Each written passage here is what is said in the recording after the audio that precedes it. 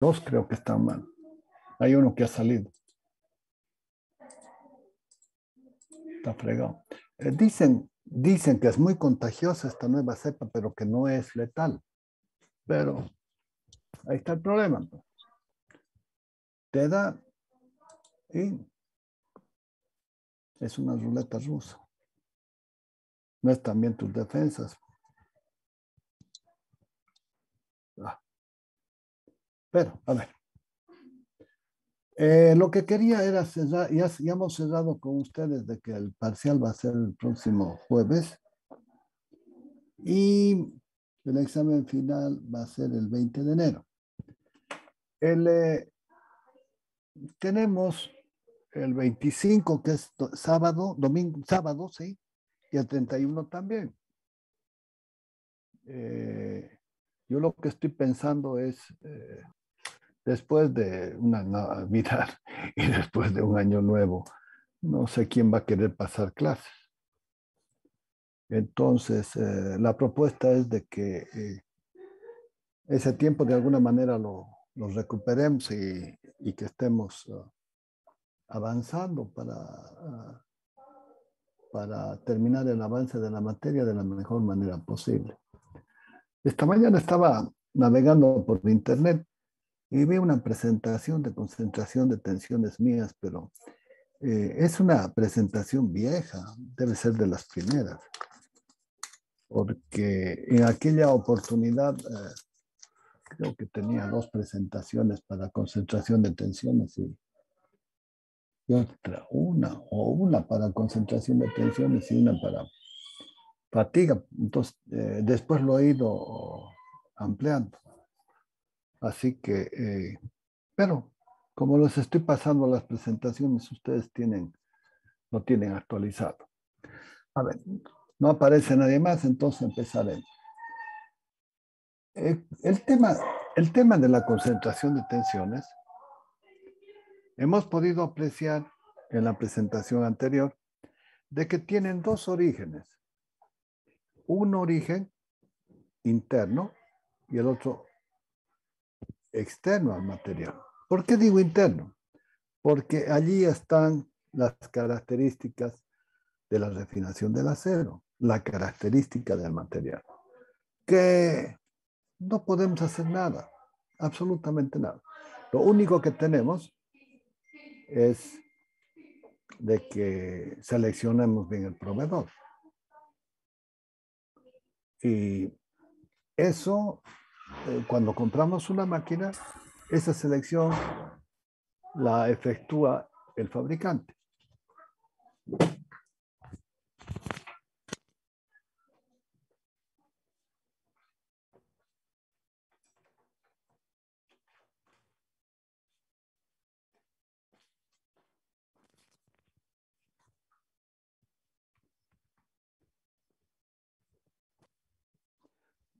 Pero si en algún momento nos tocara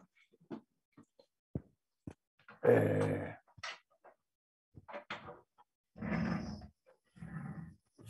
fabricar alguna pieza, lo que tienen que hacer es tomar contacto con un buen fabricante. En una oportunidad yo tomé contacto con un fabricante de acero en realidad no era un acero fabricado en el Perú, sino era un representante de una serie europea. Entonces coticé mi material y, y lo compré y, pude, pude fabricar un, eh, un eje ahí en ese taller, ahí, si no me equivoco, su nombre es Imor.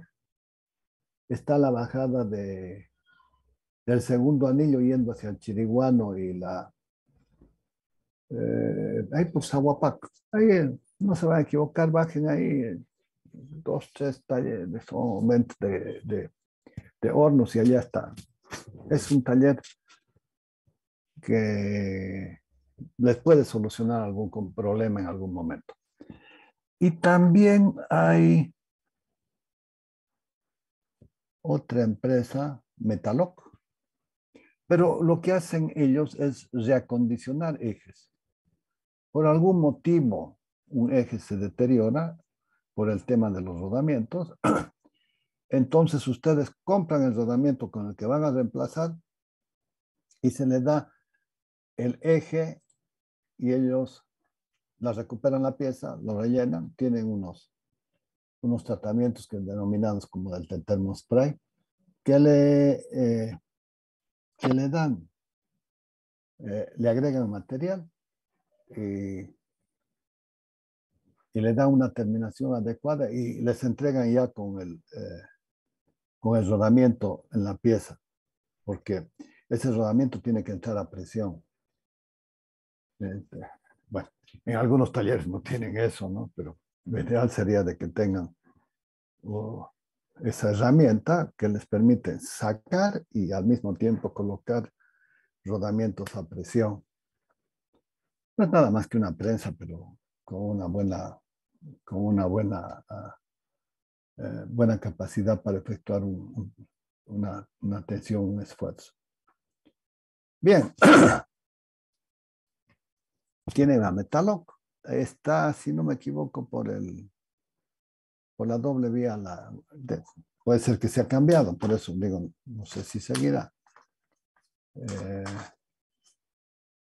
está en la doble vía La Guardia, debe estar pasando el quinto anillo, llegando al sexto, al kilómetro 6 más o menos. Poco antes, poco después. Y la otra, bueno, tiene que contactarse vía internet. ¿Qué tengo acá? Ah, estábamos viendo de que el tema de la concentración de tensiones se producía por dos factores, un interno y otro externo. El interno se debía al, tema de la, de la obtención del material, donde podían haber quedado impurezas, la calidad del acero fue el tamaño de grano, la orientación, las venteaduras, etcétera, etcétera. Bien, no podemos hacer nada. Pero sí, cuando hacemos el diseño y vemos la pieza, tampoco vamos a hacer el diseño, pero tenemos que tener en cuenta cómo han el diseño, porque después va a llegar a sus manos algún problema y de alguna manera tienen que solucionarlo. Y entonces, la característica de que una pieza sea prismática implica de que por efectos de la fabricación de esa pieza, voy a incurrir en concentradores de tensiones que tengo que considerarlos. Es posible de que el que ha diseñado la pieza lo hubiera efectuado. No me queda la, menor duda de que lo ha considerado y ha sido bastante, bastante generoso y práctico para definir sus concentradores de tensiones y evitar de que tengamos problemas. Pero hay, hay, hay situaciones donde se ponen de manifiesto y nos ponen incomodidades. Pero, ¿dónde se produce la concentración de tensiones? En el cambio de la sección acá, fíjense, pero no, está, no es, no es el, el punto de mayor solicitación, sino acá. Acá, acá está la, concentración de tensión. Y entonces va a aparecer la grieta por acá. ¿Y, y por qué acá? Claro, es la parte más reducida de la sección. Porque un poquito más allá todavía tiene más sección, entonces no va a poder hacerte nada. Y acá peor todavía y acá peor. Porque tengo más sección. Acá, en cambio, en la unión prácticamente, en el punto de tangencia es donde van a producirse las concentraciones de tensión. mirándolo, miren, en, una, ah, en un chavetero, el problema está en el fondo. ¿Dónde es el fondo? Evidentemente donde tengo la menos sección.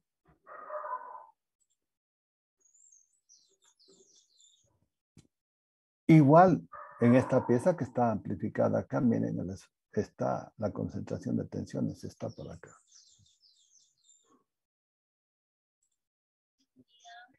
La concentración de tensiones es la discontinuidad en la distribución de las tensiones que se produce en la sección de una pieza en la que tiene lugar alguna discontinuidad geométrica.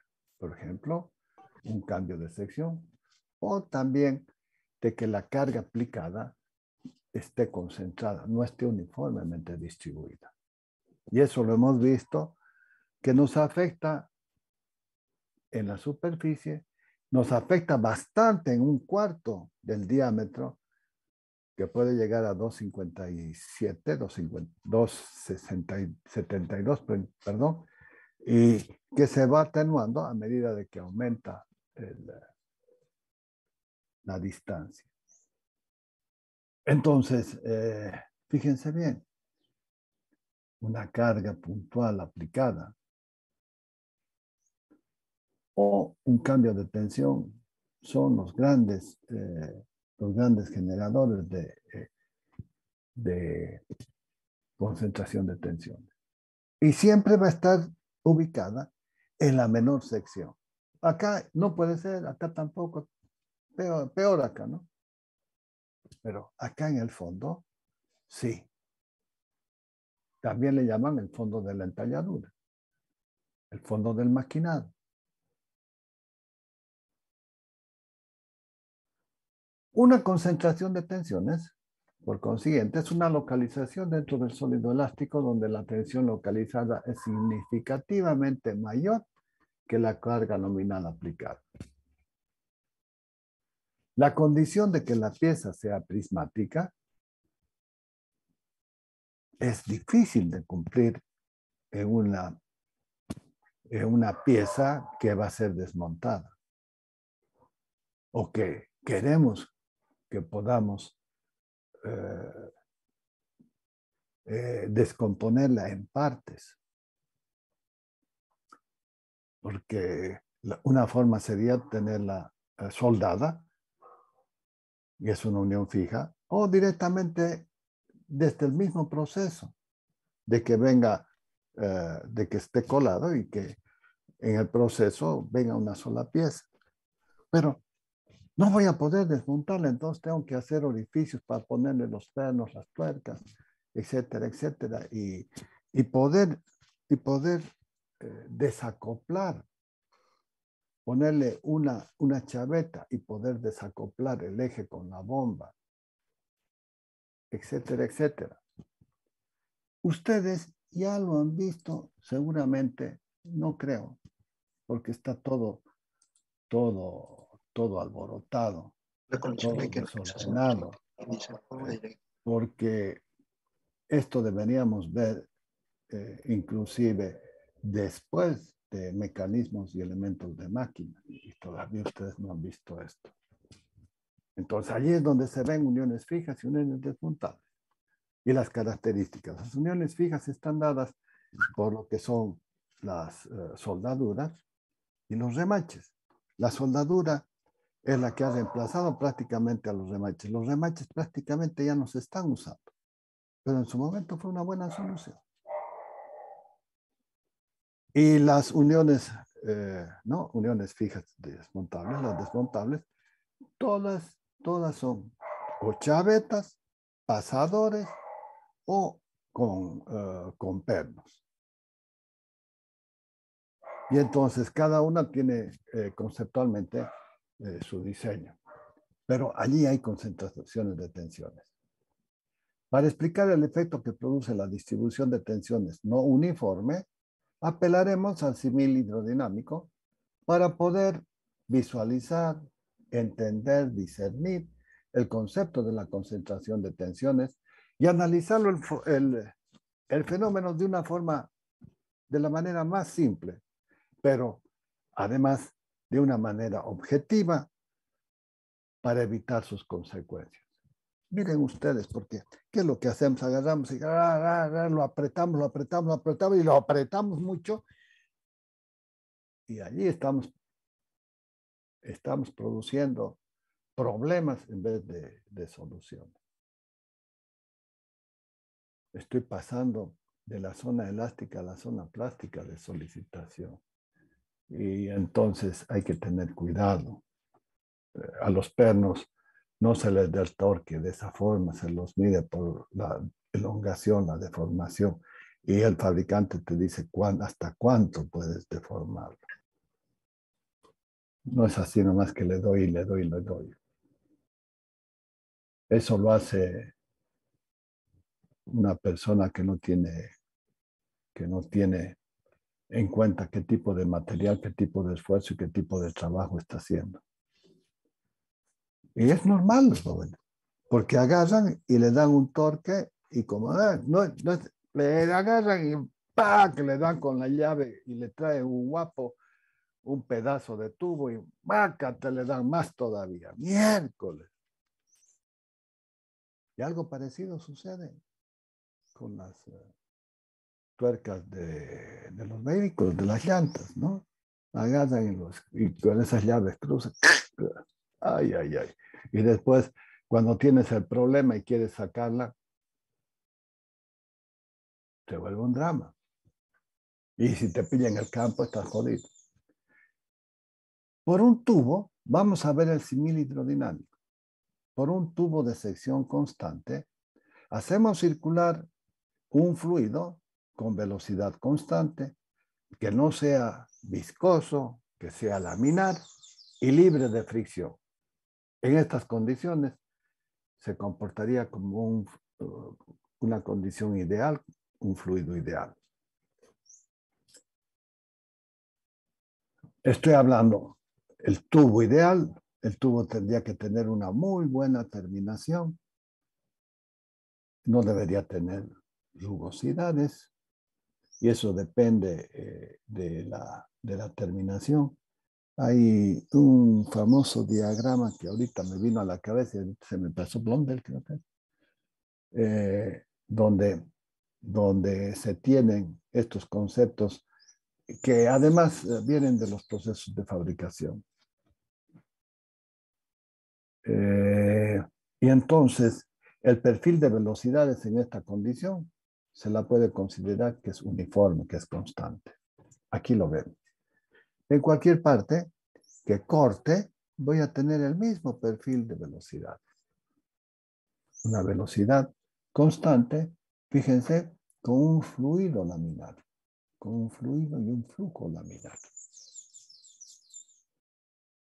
Observando que, observamos que el fluido fluye uniformemente y que las líneas de flujo se mantienen paralelas. Pero, ¿y qué sucede si le coloco una perturbación? Lo que se hace generalmente es eh, eh, lo que se hace es, eh, se le pone una perturbación entre flange y flange, se le pone una perturbación que son orificios calibrados. Esos orificios calibrados se utilizan para regular presiones. Entonces, pero también me producen unas interferencias con la ayuda de esos de esos tubos calibrados, eh, vamos a hacer el siguiente análisis. Si colocamos un obstáculo en el tubo, las líneas de corriente al llegar al obstáculo se estrechan y se comprimen entre sí. El estrechamiento de las líneas del fluido es conocido como la estricción de la vena fluida. ¿Qué es lo que ha pasado? Me la han comprimido a la vena fluida. Y esto ¿Qué consecuencias me trae? La consecuencia que me trae es de que aquí al fondo de la entalladura, el famoso tubo orificio, ¿no? que me sirve para regular presiones. Eh, ¿Qué es lo que me produce? Lo que me produce es como que si hubiera reducido la sección. Claro que sí, pero aquí lo que tenemos es por la famosa ley de continuidad. ¿Sí? Esta sección igual a esta sección. El caudal es constante, es decir, que la velocidad por la sección, S1 por B1, va, tiene que ser igual a S2 por B2. ¿Qué es lo que ha sucedido para que sea constante? Cuando he reducido la tensión, se me ha incrementado la velocidad. Y entonces el perfil de las velocidades no es más el mismo. Aquí en el estrechamiento ha aumentado. ¿Y eso qué significa? Si la velocidad ha aumentado y el flujo se ha, eh, el caudal se ha mantenido constante, se ha reducido la sección. Eso lo han visto, no sé si en mecánica de fluidos o en hidráulica, pero lo han tenido que haber visto. Se observa a otro, de repente no lo han visto, porque me la han desfasado esta materia. Se observa que el perfil de velocidades, ya no puedo hacer nada, joven. Así que vayan a quejarse a, los, a los que han diseñado este penso. Se observa que el perfil de velocidades se modificó, incrementando la velocidad en el fondo de la entalladura. Pero fíjense bien, acá una velocidad constante. Aquí tengo una velocidad que fondo de la entalladura y va en la línea del eje neutro o en la mitad de la tubería. Y entonces hay que analizar esa ley de distribución. Observamos que la pieza en estudio tiene un mismo comportamiento del similitro dinámico sin obstáculo con una distribución uniforme del esfuerzo. Se hacen los ensayos y dicen, ay caramba, da lo mismo que el similitro dinámico una pieza que la someto a la tracción y veo de que la distribución es uniforme. En esta lo que tengo es, ¿no es cierto? Esta es, tengo, tengo que determinar el área, pero el área que va a ser igual, va a ser igual a H por el espesor que pueda tener esta chapita. O si quieren hacerlo como eh, si fuera un tubo, también sirve. Pero el área que va a ser igual, va a ser igual a esta altura por este espesor. El esfuerzo, ¿a qué va a ser igual? Va a ser igual a la fuerza sobre el área o la superficie. Y esto tendría que integrarlo para sacarle el valor medio. El sigma medio va a ser igual a P sobre el área. Pero esa área la voy a considerar, H estoy considerando acá, voy a considerar H para arriba y H para abajo. O sea, H sobre 2 y H menos eh, H sobre 2. Y voy a integrarlo en ese valor, porque hemos dicho que el valor de la fibra neutra. Y entonces, esto me da, reemplazándolo, que voy a tener la fuerza, va a ser igual a la integral de H2 a menos H2 del esfuerzo, acá estoy integrando, ¿no? La fuerza, esto lo estoy llevando a multiplicar para acá, ¿qué es esto? al esfuerzo el espesor por el diferencial de la altura. Bien. El otro día me preguntaron algo sobre el esfuerzo. Miren, acá, acá ya estoy utilizando el, concepto de derivada y de integral.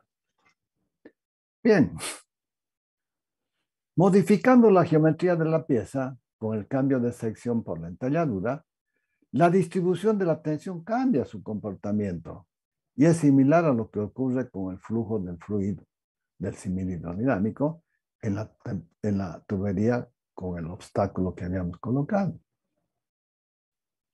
Sucede exactamente lo mismo, pero tengo que definir este valor sigma máximo, este, este valor sigma mínimo y ya está definido el sigma medio. Porque de acá el máximo con el mínimo puedo definir el sigma medio, pero el sigma medio lo considero como si fuera el mismo ensayo, pero sin la perturbación. El flujo de tensiones tiene una distribución que no es uniforme, con tensiones muy superiores al valor nominal en la proximidad del fondo de la entalladura, del cambio de la sección, donde se produce la perturbación. La concentración de tensiones me define este sigma medio y este, este sigma medio y el sigma máximo, el sigma medio. Pero no tendría que calcularlo el sigma mínimo, que no lo necesito, porque el sigma medio lo tengo del ensayo de la misma chapita, pero sin la perturbación. Y con la perturbación puedo definir el sigma máximo. El efecto de la intensidad de la concentración de tensiones se puede apreciar por la ley de distribución que tengo de los esfuerzos, que están localizados desde el fondo de la entalladura al fondo de la entalladura. O sea, en toda la geometría de la pieza. Bien. Se denomina factor de forma, alfa sub k, al cociente de la tensión máxima con la tensión media. Y entonces aquí aparece el famoso factor de forma, que es un coeficiente de entalladura. ¿Qué va a depender de la forma? Sí. No va a depender del material. Y va a depender del esfuerzo. Ya me estoy anticipando. No depende, depende de la geometría, depende, no depende del material y depende del esfuerzo. Uy, pero si no depende del material, puedo hacer el ensayo con cualquier material, con cualquier plástico, con una madera, con ah, aluminio. ¿Por qué? Porque son probetas baratas. Y la información que voy a obtener es esta famosa, es este coeficiente de entalladura, factor de entalladura, factor de forma, que depende únicamente de la geometría de la pieza. Y esto es lo, lo, interesante, porque me permite hacer ensayos con todo tipo de material y se tiene el mismo resultado. Y entonces hay abundante información para el priestista sobre esto información que les he enviado en ese PDF el día jueves. Y entonces lo denominamos factor de forma o factor de entalladura que deriva de, de Kerbel. Kerbel es entalladura, porque los alemanes fueron los primeros en darse cuenta de esto y los primeros en utilizarlo en sus diseños no solamente como factores de concentración de tensiones, sino también tienen una, eh, fueron, eh, fueron prácticamente los que eh, iniciaron los cursos y, y, y, la investigación sobre la rotura por fatiga y le dieron soluciones. Porque ellos en, los, en, sus, en sus trenes de transporte de, de carbón, se rompían y estaban bien hechos. Y ahí es donde se dan cuenta el problema de, la, de los coeficientes de entalladura, que eh, con valores tan altos, pese a que la celocitación estaba bien hecha, superaban el límite de fluencia y al final se terminan rompiendo por fatiga. Y la rotura por fatiga es clarísima, la ves y no te vas a equivocar ya la van a reconocer. Y entonces definen este factor de forma, forma, geometría, por la relación del sigma máximo sobre el sigma medio. Y aquí el problema no está en definir el sigma máximo, cuánto va a ser el sigma máximo, sino encontrar al factor de concentración de tensiones que multiplicado por el sigma medio me va a dar el sigma máximo. Y al obtener el sigma máximo y llevarlo a mi diagrama de tracción de un acero dúctil, si supera los 2100 kilogramos por centímetro cuadrado, estás listo. Estás listo porque se te va a romper la pieza por fatiga. Ahora se dieron cuenta para qué es el factor de concentración de tensión. Pregunto, ¿para qué es el factor de concentración de tensión? A ver si lo han entendido.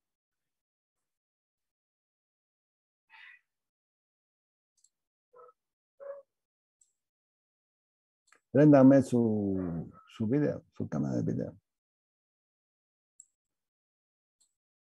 Porque nunca falta un despistado. Me lo voy a buscar.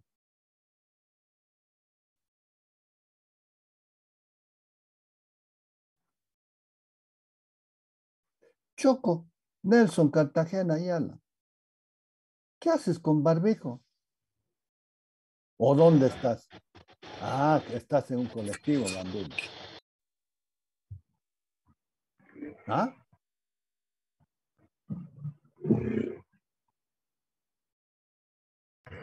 Soy microingeniero. Claro. ¿Y será que en el micro le sacas provecho? Ve, ustedes solitos se venden.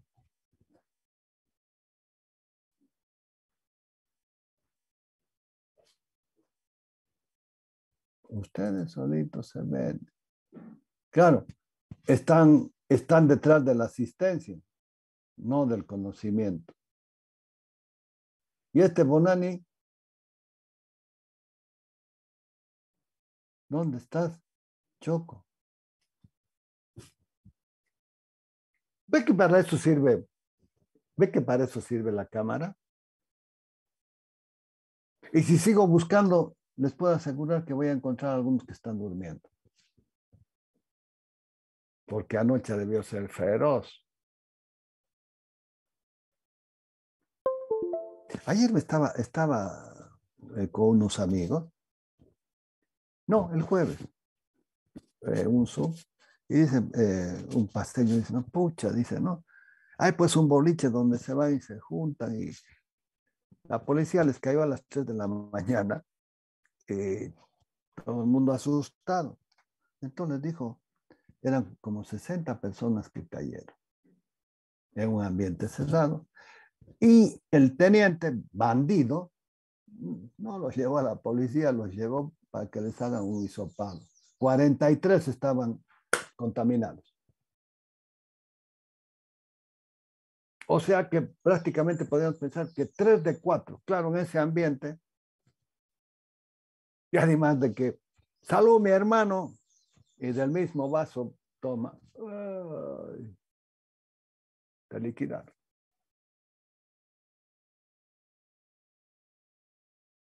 Y por eso es que otra vez esta porquería se nos está viniendo encima. Pero, a ver, ¿quién me ayuda a definir qué es el factor de concentración de tensión? Vamos ganando tiempo. ¿Cómo, lo, cómo, lo, ¿Cómo interpretamos este fenómeno físico? ¿Para qué me sirve? ¿Cómo lo, cómo lo, cómo lo, ¿Cómo lo uso?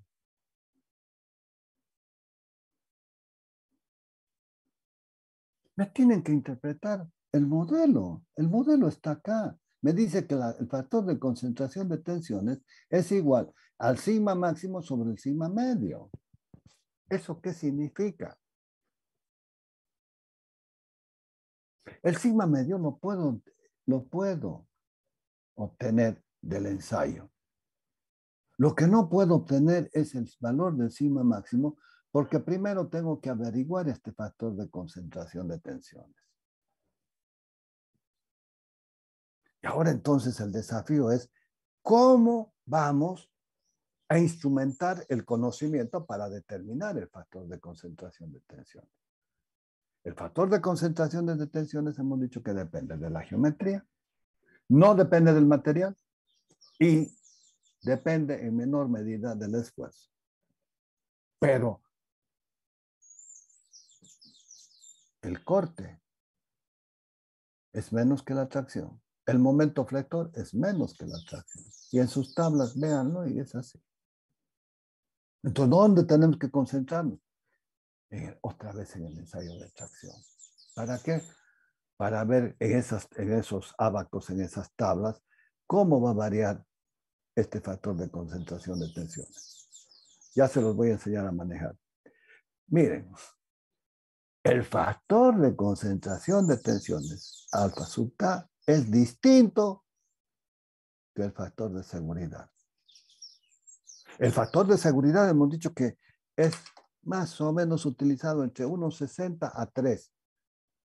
Cuidado, porque este, este factor de concentración de tensiones puede ser superior, superior a 3 y estamos listos. Ni el factor de seguridad te va a salvar. Ahí va el problema.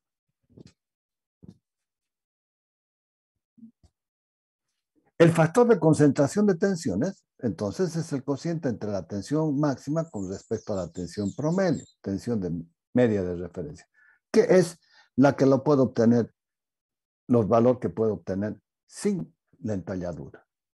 Entonces es rápido, para, ya está, con cualquier material lo tengo. Y el factor de concentración de tensiones, ejecuto la, la, la forma del cambio de la geometría y empiezo a replicar y empiezo a replicar y empiezo a fabricar las curvas y después con esas curvas trabajamos.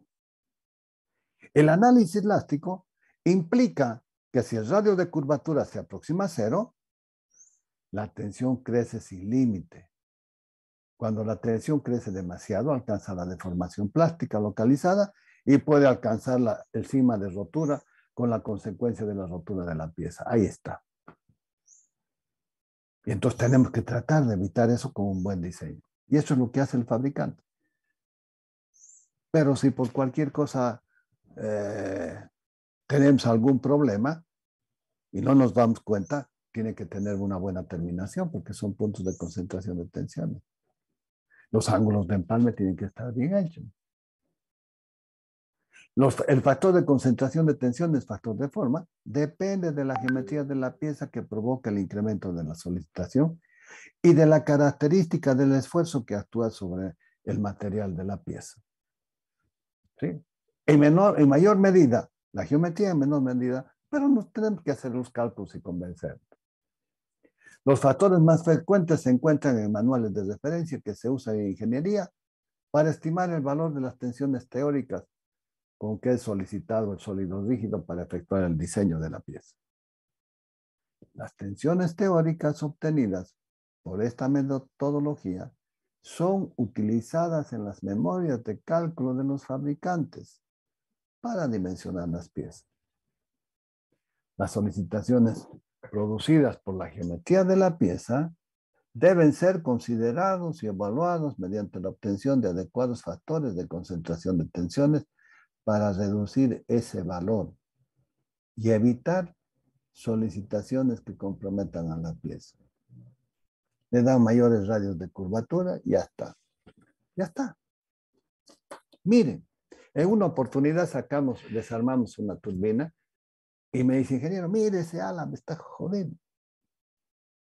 Era un, era un ala de, de tercera etapa. No lo, vamos a, eh, ya fueron y trajeron, no lo vamos a cambiar. Y me, pero ¿por qué? no, no, no, no, vamos a curarlo. Anda, llamarlo al fulano que venga con, eh, con sus broquitas, con sus rueditas de amolar, su, taladro, y lo curamos. Lo atenuamos los ángulos vivos, lo pulimos, lo, lo dejamos. Y trabajó sin ningún problema. 24 mil horas después sacamos y no había pasado nada. E-, ellos estaban esperando verlo eso. Yo ya lo había visto con el horoscopio, porque lo venía siguiendo, para ver si si se producía alguna fisura y entonces había que parar la máquina. Pero como era tercera etapa, tampoco me preocupaba porque si algo se rompía, iba a salir por, la, por el escape. Ah, pero no puedo hacer lo mismo con álabes, con álabes de primera etapa. Ni soñando se les ocurre. Ustedes tienen que, tienen que medir el riesgo. Para eso son ingenieros. Y para eso están estudiando. Entonces, ¿qué es lo que pasa? Mañana van a estar ahí al pie de la vaca y van a tener los problemas y van a ir a buscar en sus apuntes ni cagando jóvenes. Por eso es que tienen que estudiar. Y tienen que razonarlo, porque lo que estudian de memoria se van a olvidar.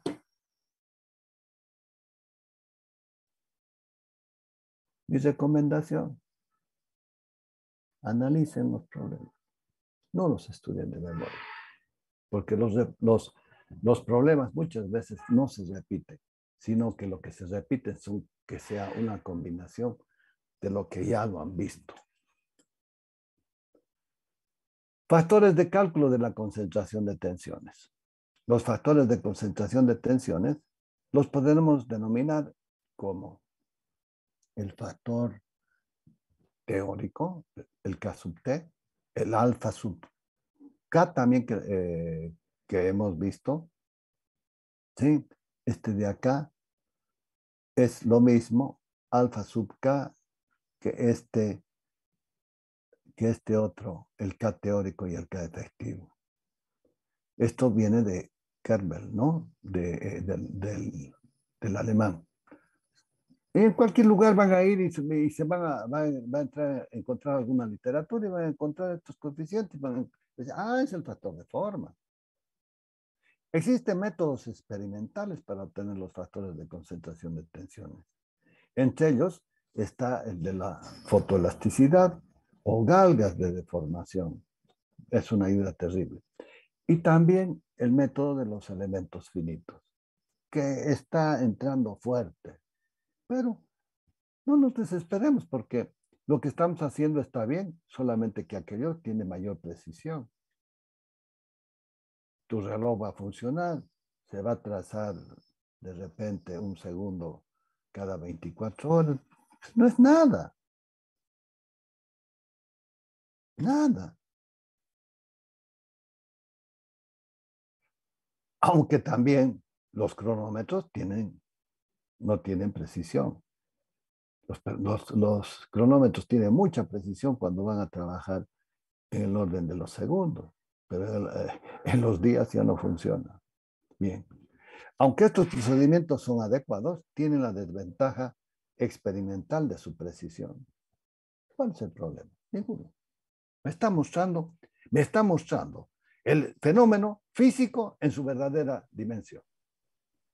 Existen diversos enfoques para estimar los factores de concentración de tensiones. De hecho, hay numerosas publicaciones de estos factores que son convergentes en sus valores. Todo es parecido. Nada es igual. Todo es parecido. Nada es igual. Pero sirve. El enfoque teórico usa consideraciones sobre la elasticidad y la resistencia del material que permiten llegar a ecuaciones y conclusiones similares a las aproximaciones obtenidas por la vía experimental. Actualmente se usan estimaciones basadas en el desarrollo del método de los elementos finitos. Ahí está lo que les digo, que se acercan aún más al valor efectivo de este factor. Y lo que es más, les voy a decir, hay chicos que están haciendo sus trabajos de grado utilizando este método ya. Sí, no estoy en desacuerdo. Usen lo que más cómodo, con lo que más cómodo se siente. La forma o geometría de la, pieza influye en la distribución de los esfuerzos. Esto es una realidad irrebatible. La geometría con que se diseña la pieza tiene una relación directa con el factor de concentración de tensiones, con la geometría, el factor de concentración de tensiones, el factor de forma, geometría, geometría, geometría. El diseño comprende la selección del material, el diseño de la forma. Cuidado, ¿no? Si voy a tener una pieza fundida, voy a tener que tener ángulos de salida. Sí. Si tengo una pieza soldada, no necesito los ángulos de salida.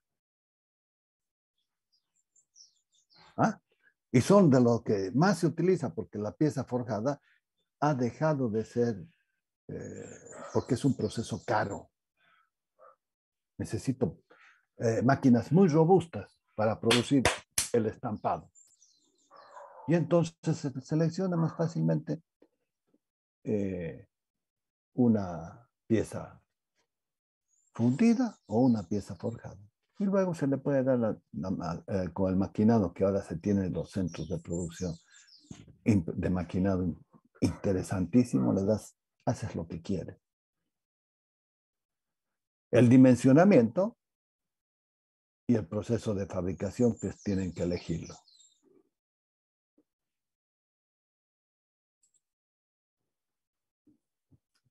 Ligado a este proceso de fabricación va a estar van a tener en cuenta lo que es el mecanizado y la terminación. Porque el mecanizado, la, herramienta siempre deja una huella, siempre deja como un surco. Y entonces, con la terminación hay que eliminar aquello porque esos, esos, esos son puntos de concentración de tensiones. Debemos tener presente en los materiales dúctiles, al cambiar la distribución de las tensiones en los puntos más solicitados y que comprometen la integridad de la pieza. La concentración de tensiones produce la rotura estructural del material al superar los límites de fluencia. Produce con grieta y de allí a la rotura de fatiga estamos a un paso. No hay, y es irreversible. La grieta, la microgrieta es un factor no controlado y crítico por el incremento de la acción de la concentración de tensiones van a ir y van a, van a revisar los manuales del fabricante y el fabricante tiembla cuando escucha el valor grieta. Porque eso significa mal diseño. Eso significa que puedes hacer un juicio. Así de simple. Pero como no manejamos los conceptos, ah, preferimos callarnos y, y pasa. Materiales frágiles que al alcanzar la tensión máxima se produce directamente la rotura de la pieza. No sé en qué momento, pero cuando llega el momento, ¡pum!, se me rompe. ¡Wow! Pero, ¿acaso no estaba bien diseñado? Sí. ¿Y el factor de forma? ¿El factor de entalladura? ¿Cuánto era? Pero si no le has dado el ángulo de empalme. Si no le has dado buena terminación a tu pieza, ¿qué quería?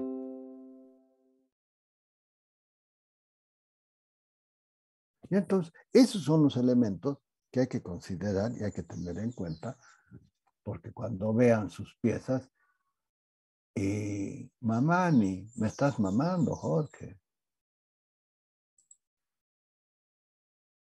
Cuando se produce directamente la rotura de la pieza, estamos, aparece la fisura, la rotura,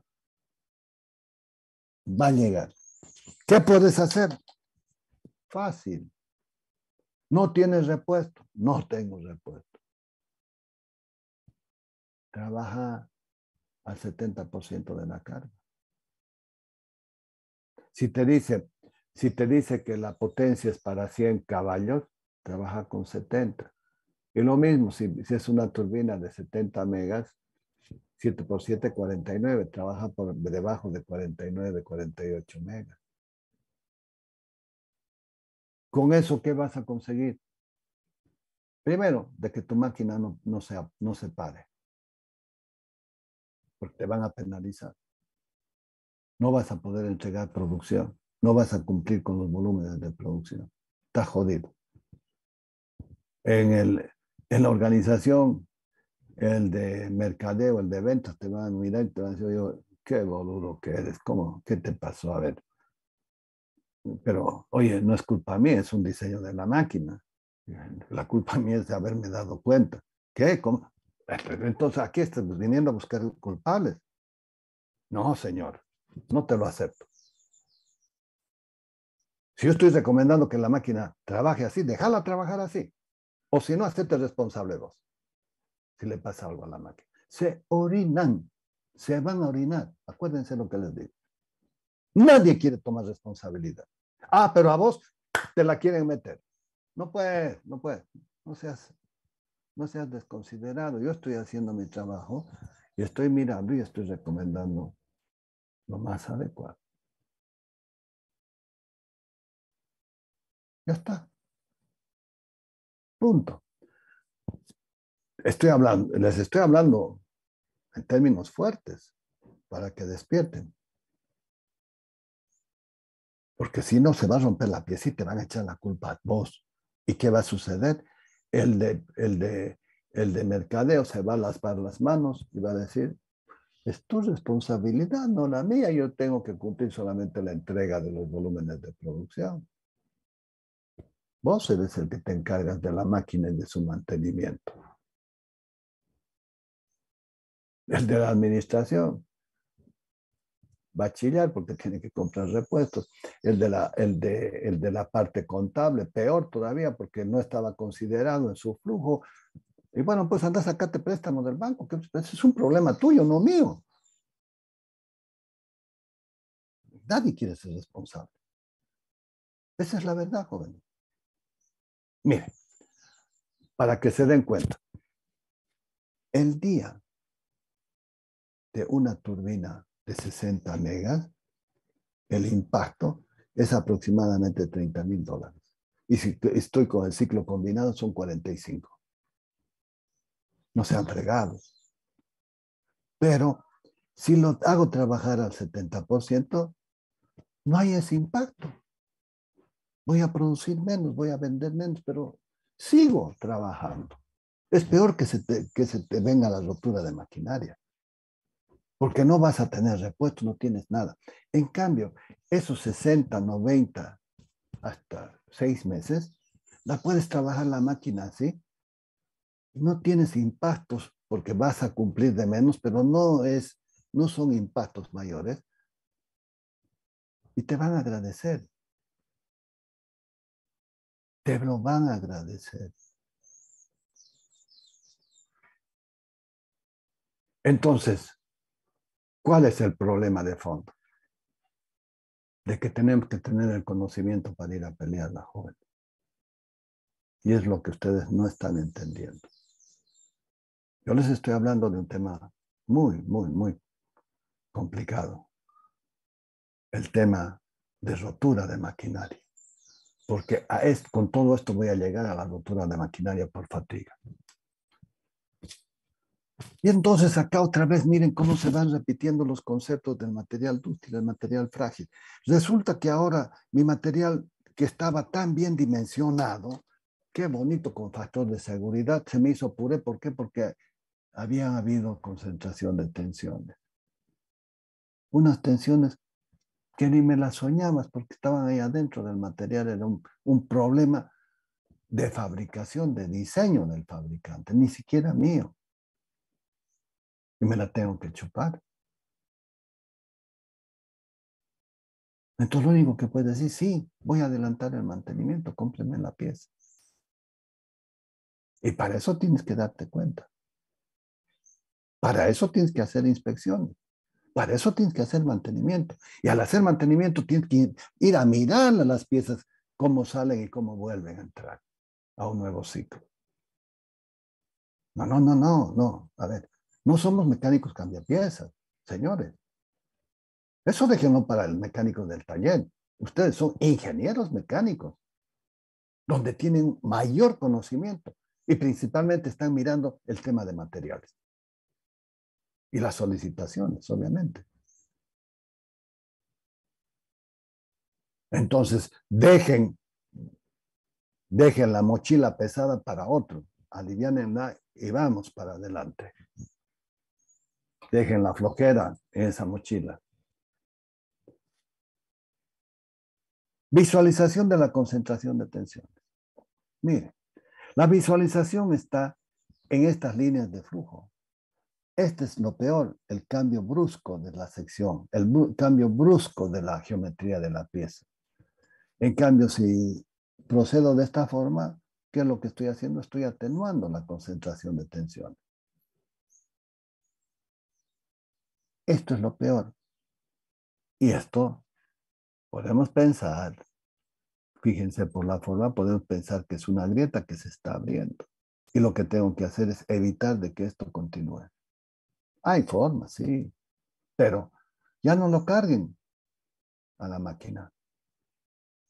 El factor de forma varía con es independiente del material, depende de la geometría y depende de la solicitación, independiente del material. Y entonces estos ensayos que hago con materiales de plástico las probetas no me cuestan nada y puedo hacer un montón de elementos hasta que me dé cuenta qué es lo que está pasando por allí. Y además va a depender de la terminación. Lígenla. Lígenla con lija fina. Y a esa lija fina inclusive pónganle tiza y con esa tiza más terminen. Inclusive hay unas pomadas para... Ah, inclusive pueden utilizar eso que, es esas pastas abrasivas para lustrar las pinturas de los autos, hasta eso sí. Es cuestión de que se den cuenta qué es lo que quieren hacer, nada más.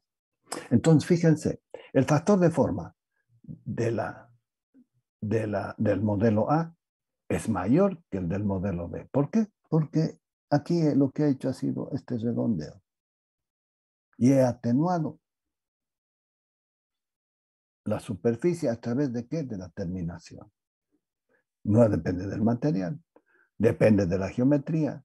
La solicitación es la misma en un caso como en la otra, pero lo que vamos a hablar como solicitación va a ser momento flector, esfuerzo de corte, tracción.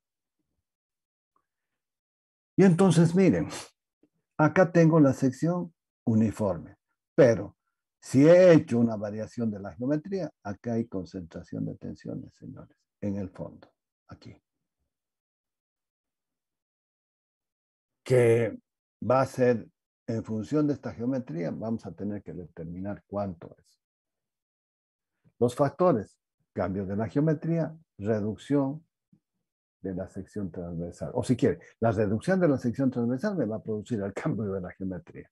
Creo que es más más coherente aquello. Concentración de tensiones. Mira, esto es lo que se hace en un chavetero. ¿Para qué? Para que esto no se me salga del lugar. Y el esfuerzo va a ser P sobre el área.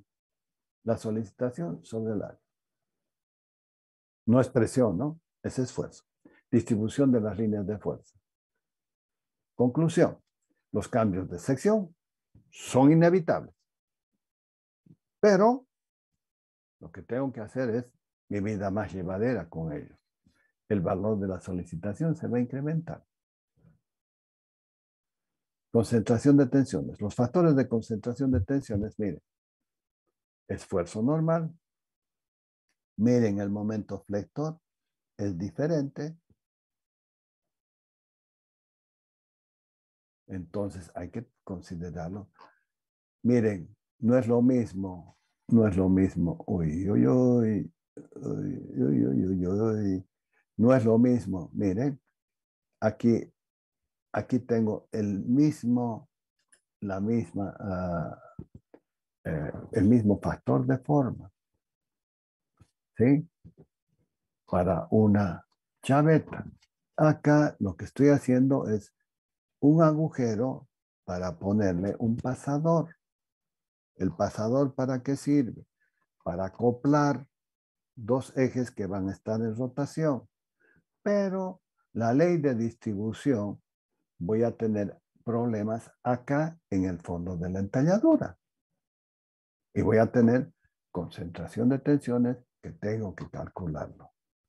Y entonces el factor teórico va a ser el sigma de fluencia sobre el sigma admisible. Y acá está tu problema. cuánto con cuánto vas a diseñar. Pero también lo voy a poder hacer para, para, ah, para el corte. Y entonces tengo que determinar el sigma real con este factor de concentración de tensiones para una solicitación y para la otra. Lo vamos a hacer y va a quedar determinado que la mayor solicitación va a estar acá cuando tenga el esfuerzo de tracción. Con este es menor. Y entonces lo que tengo es este factor de forma, el caso el sub T o, K sub R, valor de la tensión máxima real o de la discontinuidad sobre la tensión nominal. Acá está definido.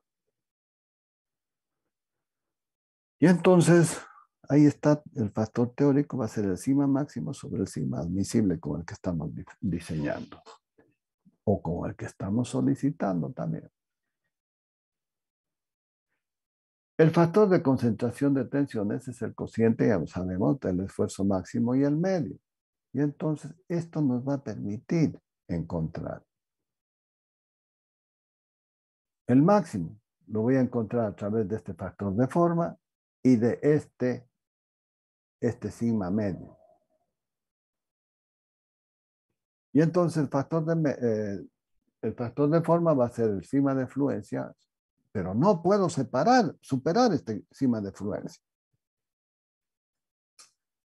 Y entonces, el factor medio también lo puedo considerar como, como que va a ser el factor del sigma admisible, que lo estoy diseñando. Y entonces lo único que hago es encontrar su, su interpretación. Pero hay una formulita que me dice que A sub K, el factor de forma, va a ser igual a 1 más dos veces A sobre B. Y acá está la clave de todo, jóvenes. Y lo van a poder encontrar esta fórmula en cualquier libro y en cualquier literatura. Esto no es secreto para nadie. Al contrario, lo que te dicen es, ten cuidado con esto. Y entonces, ¿cuál es la interpretación? Fíjense, de que el factor de forma podrá llegar a ser A. Si A es igual a B, esto va a ser 1 y esto me va a quedar un factor de forma igual a 3. Guay. Y si tomaste tu coeficiente de seguridad de 1,70 o 2 y acá tienes 3, se te va a romper la pieza. Así de simple. Y si tuviste 3 y acá tienes 3, y de repente como no estás tomando el máximo valor de la solicitación, de repente no llega. Ya está. Pero, acá hay otro pero. ¿Qué va a pasar si A es distinto de B?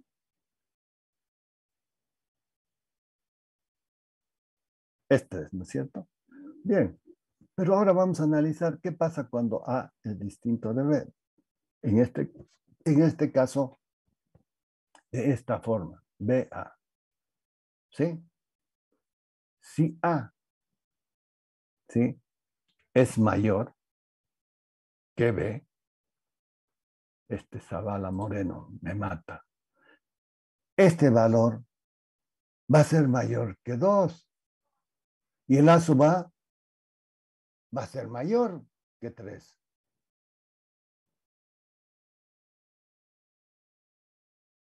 Y el problema es de que este B se haga delgadito, una línea.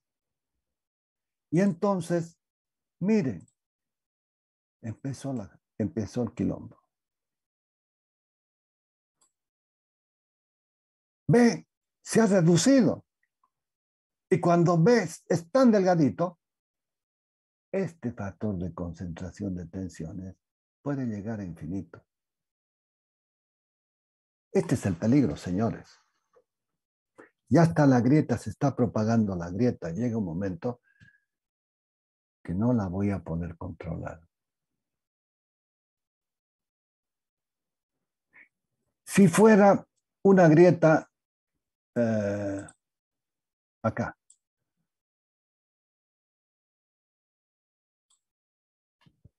Mire que es más grande que esta. ¿Qué problema me originaría esta? Ninguno. Porque vengo y lo que hago es con lija, lo pulo y lo borro. Y no pasó nada. ¿Por qué no pasó nada? Porque no me está afectando al área. En cambio, esto sí me está reduciendo, reduciendo el área. ¿Por qué decimos el área? Porque es la sección transversal. Si, si tengo, si tengo la, si tengo la grieta por acá,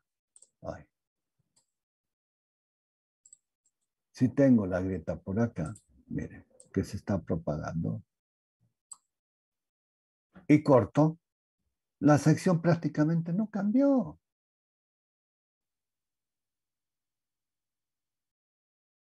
Pero acá sí, aquí sí que cambió. Y esta es la que tengo que tratar de evitar, las grietas transversales. Y entonces, ¿qué se hace? Hay, algunos remedios. Hay algunos remedios. Eh, se le hace, se le perfora acá con una broquita, entonces eh, esta grieta crece, llega al, al, agujero de la broquita y ahí se queda. Y ahí, mientras tanto, sí, busca tu, tu, tu repuesto y compra uno nuevo. Lo que estás haciendo es evitar de que la grieta se propague. Hay otros que son más salvajes todavía. Agarran y ¡guácate! Con amoladora, ¡fum, fum! Lo sacan, buscan el electrodo adecuado, le agregan y después lo hacen maquinar y queda chalinga y va a aguantar mejor, pero tengan cuidado que se va a romper. Yo lo he hecho y se ha roto, pero no me quedaba otra cosa. Miren, les voy a contar algo. Nos va, me, yo estaba en Sucre y me dicen, andate a, Tarija. Voy a Tarija, llego a Tarija y me dicen, el árbol de levas de las válvulas se ha roto. ¿Cómo es eso que se ha roto? Sí, me dice, se ha roto. No puede ser. Sí, estoy pidiendo. Repuesto va a tardar un año. No podemos tener la máquina parada, entonces la he llevado al taller. La estoy haciendo soldar. Voy a ver. Efectivamente estaba en eso. ¿Saben qué? Hemos tenido que romper la pared para sacar el, el árbol, pero una máquina grande, para sacar ese árbol de levas. Es como un cigüeñal, muy parecido, pero es un eje con las, con las, ah, con los tetones esos para hacer. Ay, pucha. Lo colocaron. Le estás haciendo mal, Gilberto. ¿Por qué me dice? Hace con bisel hacerle un bisel. Trabajó un tiempo, me fui, cuando me entero, se había vuelto a romper. Pues ya me le dije, hace de esta forma. Estoy yendo a ver qué cómo estás reparando tu, tu árbol de levas. Fuimos y fui y le dije, a ver, ¿cómo estás seleccionando tu, tu material de aporte, tus electrones? No, me dice, ¿Y cómo es seleccionado? Es, el material de aporte tiene que ser similar al material base. Hay cosas que, que se ponen a arreglar y no tienen el concepto. Entonces, lo primero que hicimos fue buscar el, el electrodo adecuado y después proceder al, al, rellenado de la pieza, la unión de las piezas. Y lo tercero que les dije, ¿sabes qué? Eh, esto no lo puede soldar en la temperatura ambiente y, y dejarlo enfriar. Lo que tenemos que hacer es una especie de un horno. Pongámosle calefactores. Pero va a ser ponerle calefactor, soldar y dejarlo enfriar lento. El calefactor nos va a ayudar para mantener la temperatura. Y bueno, así se hizo. Porque yo ya lo había hecho en, Sucre, recuperando culatas. Eh, lo soldamos y lo dejamos así enfriar miércoles. Una soldadura bella, muy buena selección de los, eh, de los electrones, pero cuando se empezó a enfriar, se empezó a sonar y se le vio la grieta. Y no, no, pues les dije, aquí falta esto. Hagamos un horno así. Lo hicimos un horno. Habían unos uh, tipo adobecitos de, de material, inclusive eso más, les voy a decir, que no se puede tocar el asbesto de, la, de, la, de un escape de una máquina. Entonces, con eso formamos y soldamos y lo dejamos, le pusimos, después de todo, de la soldadura, le pusimos una capa, ya estaba, ya estaba con, con temperatura la pieza, estaba precalentada la pieza, pusimos carbones ahí abajo, brasa viva, estaba caliente eso, no me pidas temperatura porque no sabría decirte porque no estabas manejando. Hoy en día con un termovisor lo tienes, pero tienes que tener temperaturas fáciles, 200 grados. Y el carbón debe tener mucho más al rojo vivo. Entonces lo precalentamos, lo soldamos. Funcionó, funcionó, funciona. Así que empiecen a pensar cómo van a recuperar sus piezas. Se puede. Pero compren. ¿Y para qué nos sirve todo esto? Bueno, pues para enterarnos y darnos cuenta de todos los problemas que, que, no estamos ajenos a, a, que podemos uh, eh, pasar. Tengo que borrar, ya lo borró. Bien, sigamos. Miren, este factor de concentración de tensiones, si no lo controlo, viene la fisura y la fisura me lo va a terminar de romper.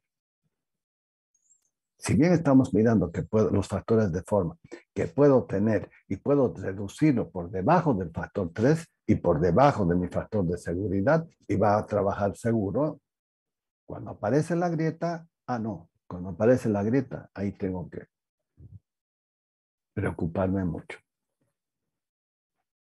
Mientras tanto, vayan tranquilos. Bien, concentración de tensiones. Miren, aquí se lo puede apreciar hay una variación. Hay un cambio de la, de la, de la geometría y aparece el sigma máximo, el sigma medio, el sigma máximo, que va a ser el, sigma nominal, con el eh, factor de concentración de tensiones. La entalladura para un momento flector, miren, había sido diferente y entonces ya sabemos de que el factor de forma depende de la geometría, pero también depende de la solicitación. No depende del material y me puede atenuar mucho la terminación. Ahora miren, Aquí también aparece el momento torso en esta, en esta chaveta. Y entonces, fíjense, los esfuerzos son distintos. Vamos a manejar nuestras tablas y se van a dar cuenta. No es, no es de temer. Siempre que ocurre una falla en una pieza, es por la presencia de concentración de tensiones, que juega un papel importante en el funcionamiento de la máquina. Así que eh, a mí no me vean como un teórico. Estaba ahí eh, al pie de la vaca dándole soluciones. El término de concentración de tensiones se aplica a la condición particular de zonas localizadas donde se producen el incremento de los esfuerzos como resultado de efectuar cambios de la geometría de la pieza. Al contrario, todo este conocimiento me ha facilitado para entender los problemas. La geometría de la pieza ángulos, distribución de las masas, terminación. Uy, mire, en el 2006, el 18 de marzo del 2006, encontré en la turbina 9 en Huaracachi este problema. Se había desportillado el álave, un álave de segunda eh, etapa Y esto impactó y, y causó algunos problemas, sí, pero lo agarré justito porque venía haciendo inspecciones por los copios. Y fui, los convoqué a los gerentes, yo también estaba de gerente, los convoqué y les dije, señores, ahí está el problema. Y otra vez no falta, no falta el tonto. No, esa máquina no tiene que parar porque tenemos que producir. Para, para, para, para. ¿Qué dijiste? Producir. Esa máquina se va a romper. Esa máquina va a tener una falla por rotura de maquinaria. Y el impacto va a ser grandísimo. Porque ahorita, por lo menos podemos recuperar la segunda etapa, la primera etapa, la segunda etapa, que se las puede. Mañana, cuando haya rotura de maquinaria, se va, va a ser una sonajera que va a salpicar a todos. Yo voy a preparar un memorándum que voy a informar de que esta máquina no vuelva al servicio. Pero ¿cuál es el problema? Si vos no dices que no estás de acuerdo y que tiene que funcionar la máquina, que funciona, asumir la responsabilidad vos.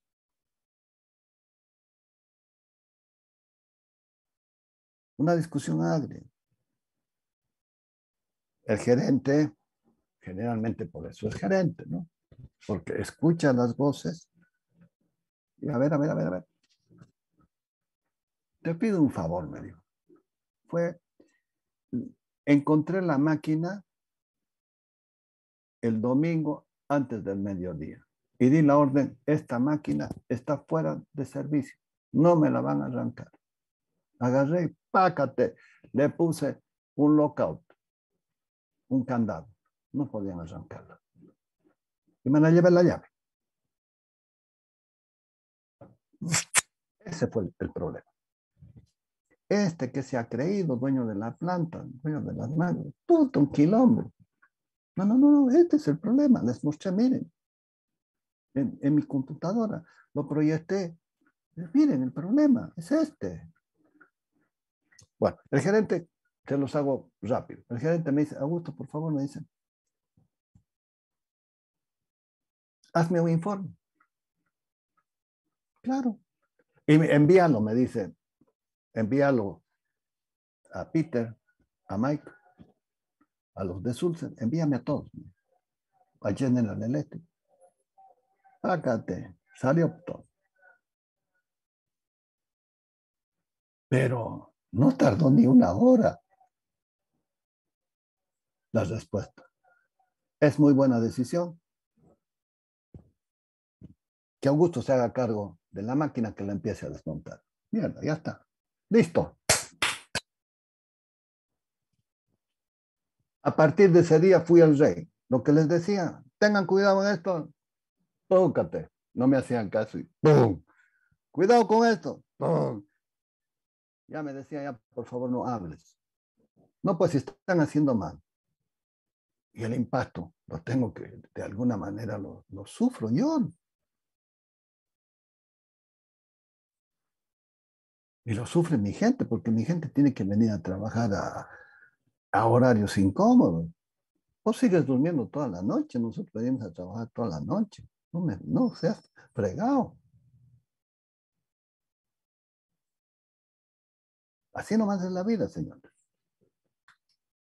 Entonces, esto lo vamos a analizar más detenidamente porque aquí hay unos cambios de sección en la geometría que son bien interesantes. Y si quieren, después les puedo mostrar, hay un TIL de, General Electric donde nos dice de que esto hay que modificar estos ángulos. Y después vinieron la modificación. ¿Cómo que vinieron la modificación?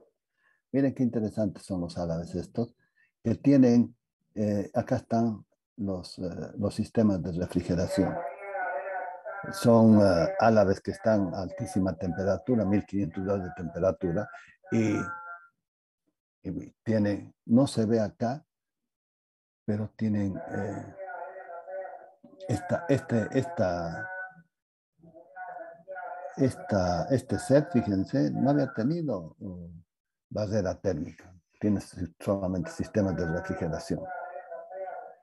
Y entonces ahora sí, miren, ya es más simple entender cómo cambia la geometría de, eh, la pieza, de las dimensiones, y lo que tenemos que hacer es los radios de curvatura. Y cuando vamos a hacer, vamos a hacer, vamos a variar radios pequeños y vamos a darle el máximo radio y van a ver cómo se atenúa la concentración de tensión. Y acá está, miren.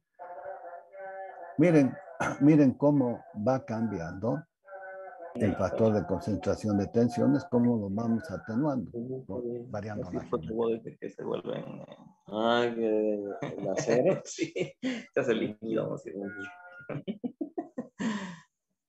Cuando llegaremos a, esa, ese estado, a ese nivel de tecnología. Su micrófono, compañero.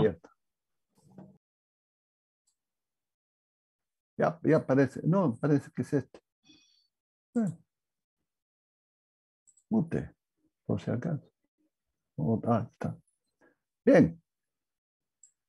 ¿Les gustó? Esto ahora, ahora, ahora estamos haciendo ingeniería joven. Mire, estamos empezando a mirar cómo variar las, las dimensiones de la pieza para atenuar la concentración de tensión. Bien. Modelos de la fibra. Miren, es este el problema, ¿no? Cómo la fibra es interrumpida, la fibra de los esfuerzos. Miren cómo cambia. Si yo lo puedo, puedo sacar este material, ¿ha cambiado en algo? No ha cambiado en nada. Ah, pero miren, si logro hacer esto, queda mejor. Voy perforando, voy sacando. Hay distintas eh, alternativas, ranuras, barreno, para que se den cuenta cómo la gente eh, eh, usa su ingenio para tratar de atenuar esto. ¿Y esto qué son? Son ángulos de... Esta parte, indudablemente que está de más el material. Pero, wow. ¿Quién se anima a tocar? Solicitación. Mire, una solicitación de un tubo cuadrado con una, eh, con una, con un agujero para poder eh, acoplar alguna pieza. Sólido con agujero y solicitación axial. Saco la mitad y se me ve y se ve este perfil de solicitaciones. La distribución de los esfuerzos de solicitación. La distribución de las tensiones, placa perforada con carga axial. Es algo parecido. Esto es lo que realmente sucede. Si esto está completo, igualito tengo que ver esta ley de variación. Se tiene altas tensiones en las cercanías del agujero. La tensión máxima se calcula determinando el valor del factor de forma alfa sub K. La afluencia primero ocurre en las cercanías del agujero para propagarse desde ese punto en toda la sección. Entonces, mire, esto, ¿dónde va a empezar el problema? Acá y se va a propagar. Pero el problema es de que cuando se va propagando, va disminuyendo el, área, el área efectiva de la solicitación y tengan cuidado. La ley de variación, miren lo que sucede en el borde es máximo y a la distancia límite se atenúa. Entonces, ¿cuál es el problema? Este, este punto, este punto. Este no, ni este no. ¿Por qué no este ni este? Porque son coincidentes con la línea, no, con, con la ley del esfuerzo, sí. Acá, esto, mire, esta, tengo esta área menos. Aquí, en el límite, tengo nuevamente toda el área. Entonces, este punto no, no, no, no sufre. El que sufre son estos dos que han, que han reducido esta, a esta sección, al doble de esta sección. Aquí se lo ve mejor. Miren, el factor de forma puede llegar a ser 3 y se atenúa en función de que este diámetro tenga una cierta relación con la geometría de esto. Y entonces vamos a empezar a trabajar con estos abacos en función de estos valores y en función de este dimensionamiento entro y puedo calcular acá y miren, tengo 2,4. Ah, pero si le doy 0,6, lo he bajado a 2,1. Y si le doy 0,7, lo bajo hasta 2. Y lo puedo bajar más todavía. Si aumento esto. ¿Sí?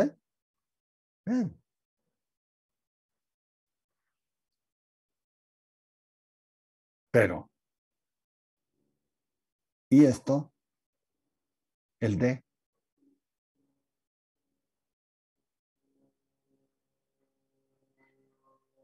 Guacala. Hay que interpretarlo, ¿no? Acá está el factor de concentración de tensiones, el máximo sobre el promedio. Voy a tener el teórico, que también lo denomina como de Peterson. Y otra vez estamos entrando a los, a los ábacos. ¿Qué puedo obtener para, para la tracción y para el corte? Distribución de los esfuerzos de la misma manera. Tengo este valor que va a ser máximo y va disminuyendo hasta que llega un momento que ya no baja nada. Las formas de la entalladura. Mire, esta no es igual que esta. Aquí tengo más sección que acá. Obviamente que es distinta de esta y es distinta de esta. Esta, acá tengo más ángulo vivo. Y entonces empiezan y empiezan a ver los tipos de las ranuras en U cuadrado, en B. Y están las leyes de variación. Esta gente se la pasa su vida haciendo estos abacos. La ley de distribución, miren, para esta o para esta, no es lo mismo. Entalladura simétrica semicircular esta otra que es distinta, la B, y la B prima, no la veo. Pero, ¿cuál es la diferencia entre B y B prima? Entre B y B. Suficiente entalladora, ¿sí? Pero, en definitiva, ¿cuál es la conclusión que saco? Sea B sea esta o esta, es más atenuada que esta. Entonces, mejor trato de, que, de tener este tipo de entalladura y evitar esta otra. Aquí lo mismo, pero con una penetración. Pasadores y chaveteros. Estos pasadores van a tener los problemas acá. Los chaveteros van a tener en esta parte de acá. Los esfuerzos. Los puedo mirar con el famoso strain gauge y puedo determinar estos valores. Esfuerzo normal para momento torsor. Otra vez volvemos a lo mismo, a la misma fórmula anterior. AB. Si A es igual a B, este es, puede llegar a 3 y pueden, podemos encontrar un valor máximo. O peor todavía sería, ¿no? Que eh, eh, están reemplazando por un P, el agujero circular KT. Cuando el eje mayor A aumenta respecto al B, el agujero elíptico tiene una apariencia de una grieta. Para este caso es conveniente ahí está la elíptica, ¿no? De que A va a ser mayor que B. A mayor que B, y entonces esto va a ser mayor que 3. Y entonces el esfuerzo se me va a ir más, más arriba todavía. Agujero elíptico de una placa plana. Ah, entonces puedo sacar de que este es B cuadrado sobre A. Ahí está la explicación. Bien. Acá miren. Hay información complementaria para cada caso eh, eh, en especial. ¿Qué es lo que está pasando con las ranuras? Miren, acá es un esfuerzo eh, normal. Este es un momento flector y este es un momento torsor. Y hay que calcular todo aquello. Retina escalonada, tracción, momento flector. Para tracción, momento flector, tracción, momento flector. Y esta, toda esta información está tabulada. Entonces hay que ir y buscarla.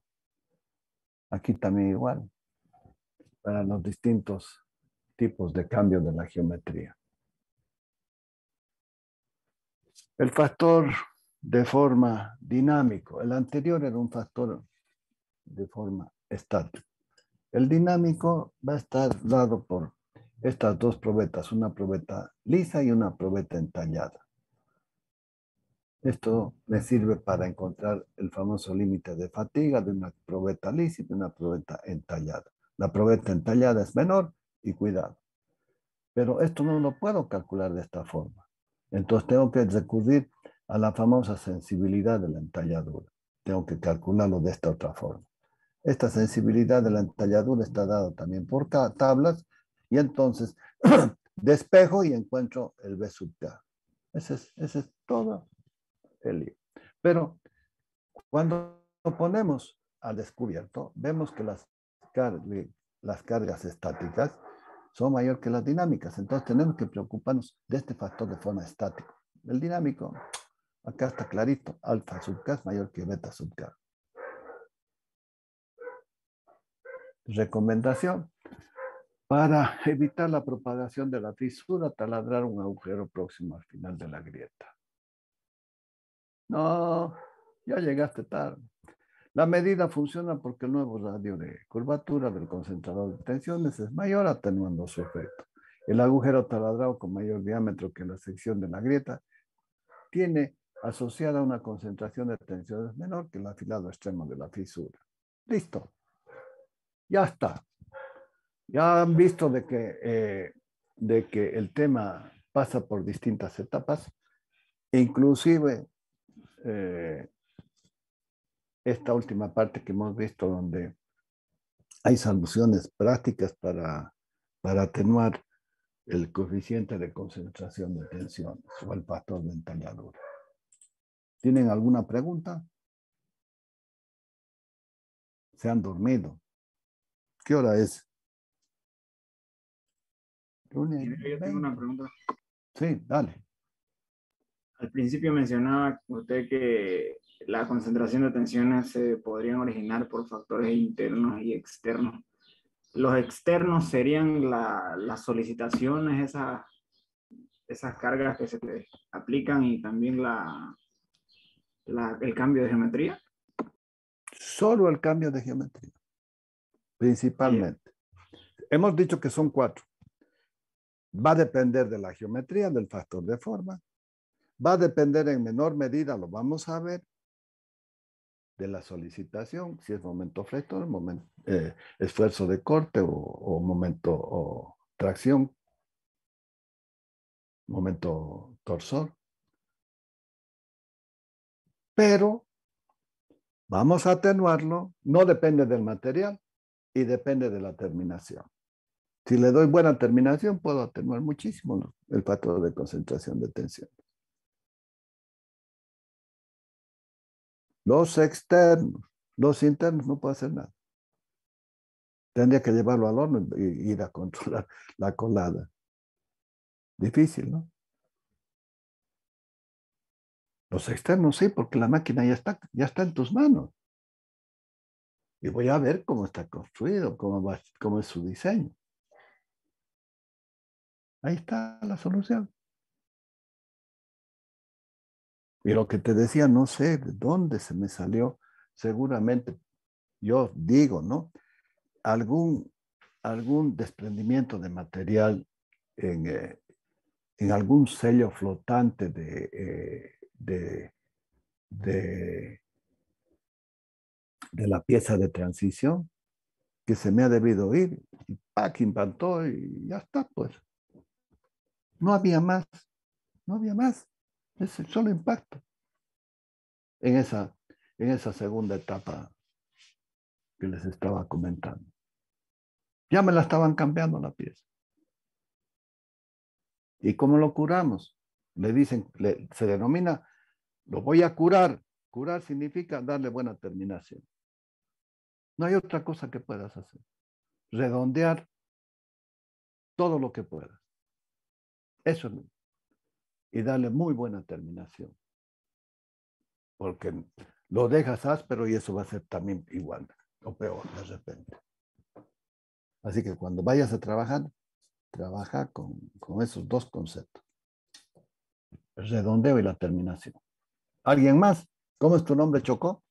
Está buena tu pregunta. Caballero Herrera. Caballero.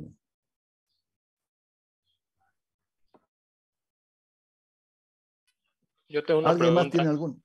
¿Qué? Yo tengo una pregunta, ingeniero. A ver. Eh, era sobre los álabes, de cómo afectaría a un álabe si es de primer, segunda o tercera etapa. Uy, si es de primera, va a ir aguas abajo y va a ser pelota la segunda y la tercera. Si es la tercera, ya no, te- ah, ya no va a ser mucho. Pero nunca vas a tener problema con la tercera. ¿Por qué?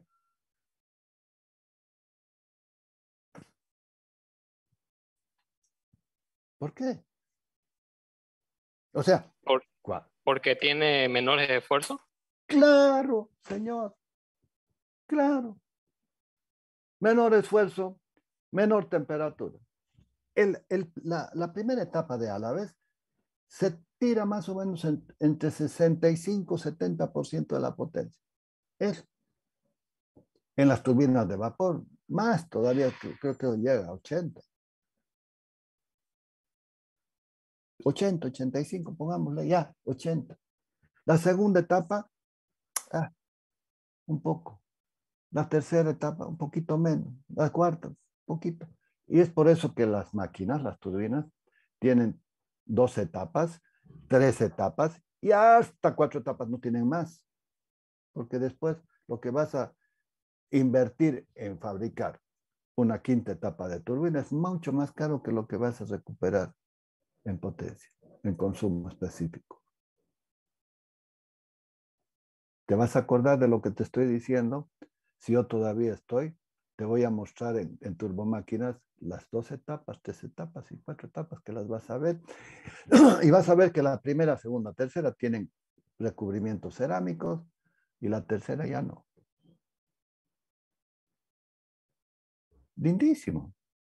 Y lo que has visto acá es, son los sistemas de refrigeración, porque con ese sistema de refrigeración, lo que, lo que tenemos es, mira, estoy con temperaturas altas, estoy con, eh, eh, estoy con temperaturas de 1500 grados de temperatura, jóvenes. Y en, los, eh, en las turbinas eh, aeroderivadas, las aéreas, llegan a 1700 y el acero se funde a los 1500, 1520, 1530. Y así se trabaja. Sacas un aire de la séptima, octava etapa del compresor que te sirven para, y lo llevas por el medio del eje y lo sacas, viene por el eje y lo sacas y te refrigera. O sea, está rojo, al, al rojo vivo como un carbón está acá, pero internamente está frío. Entonces no le pasa nada. Y con la barrera térmica evito problemas. Ahí está. ¿Cómo es tu nombre? Me gustó tu pregunta. Ruiz Áñez, Franklin Leonardo. Áñez.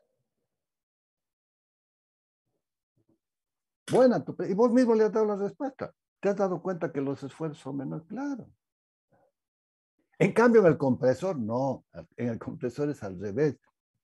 ¿No es cierto? Porque el compresor, la primera etapa, eh, cada etapa de- de- de- del compresor más o menos comprime una atmósfera. Entonces, en la quinta tengo más esfuerzo que en la primera. En la 20 etapa del compresor tengo más esfuerzo. ¿Por qué? Porque tengo una relación de 20 a 1. Fíjate vos qué interesante que es. Ah, pero siempre ah, ¿no? Siempre hay algo. Los álabes, los álabes de primera etapa son grandes, los álabes de, la etapa 20 son pequeños. Claro, porque se ha ido reduciendo el volumen. Mira qué interesante.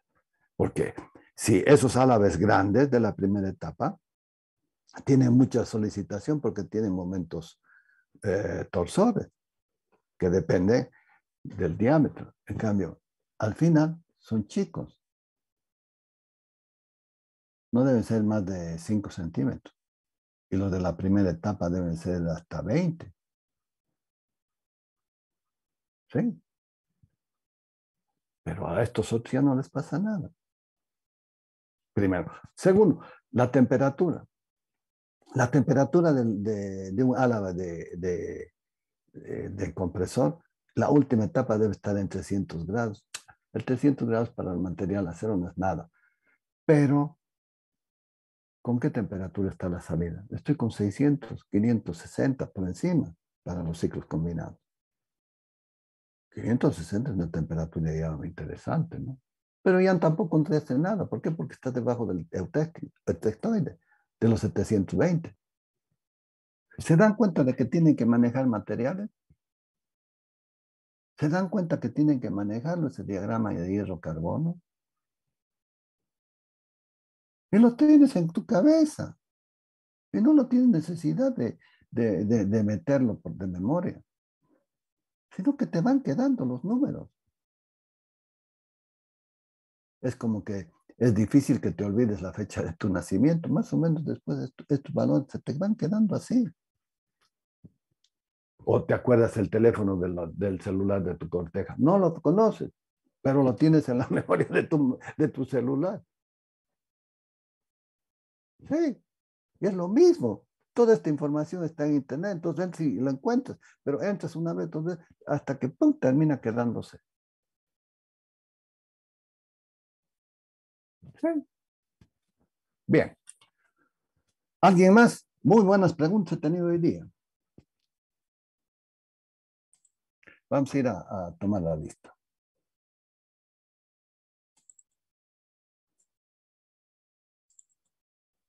Vamos a, eh, vamos a ver, caballero era uno, antes de que me, olvide.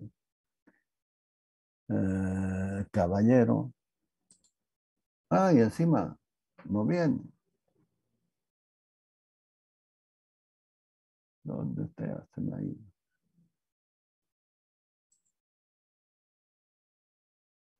Y tengo que ponerlo en rojo. ¿Qué quiere? Y el otro es Áñez. No, no hay Áñez. Ruiz. ¿Cómo era tu apellido, Chocó? Ruiz. Áñez. Ah, Ruiz, Luis Áñez. Ah, te escuché el segundo. Ruiz Áñez Franklin. Otro faltón había sido. Bueno, deben ser repitentes, ¿no? ¿No, No, Chocó? no, ingeniero. Primera vez que paso en materia. Porque, porque vienen, pues, y aparecen así eh, y, y son repitentes. Claro, pues ya, ya, ya la han visto y ya, ya, ya, ya tienen para preguntar, entonces vienen y, y les sor- sorprenden a los chicos. Bien, voy a tomar exa- eh, la lista. Aguirre, Vázquez Rodrigo, Alba González, Kevin Javier.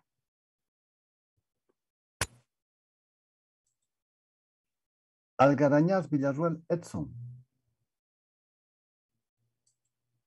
Antesana Gemio Víctor Andrés. Ansaldo Blacut Carlos Rodrigo. Presente, ingeniero. Aponte Presente, ingeniero. Araca Garnica Ronaldo. Arancibia Ligerón Berti. Arancibia Mancilla José Elías. Aro Villarruel Gabriela. Aima Moreira Cristian. Baltasar Calizaya Efrén. Baltasar Vargas Miguel Ángel.